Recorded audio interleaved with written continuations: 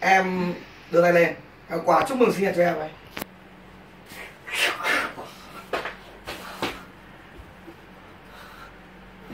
Tay bại liệt rồi anh em ạ tay bại liệt rồi. Nhưng mà chúng ta đã có vật lý trị liệu. À, lắp vật lý trị liệu cho anh em.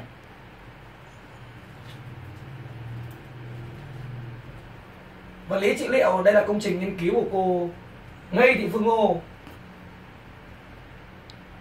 nói thế hơi điều Ngây Thị Phương Ngô. Nói thế hơi điều tất cả các bạn trong team. team à, các bạn trong team. BME BME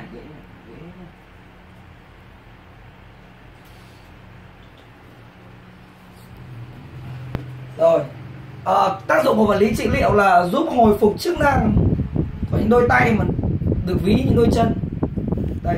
Vật lý trị liệu chúng tôi có tác dụng uh, phục hồi chức năng cho những chân trước của những động vật mà uh, thường xuyên di chuyển vào chân trước như là đây.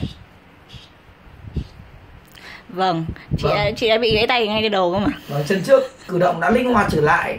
Và mình cảm ơn quý vị đã xem video mình chúc mừng sinh nhật Đinh Xuân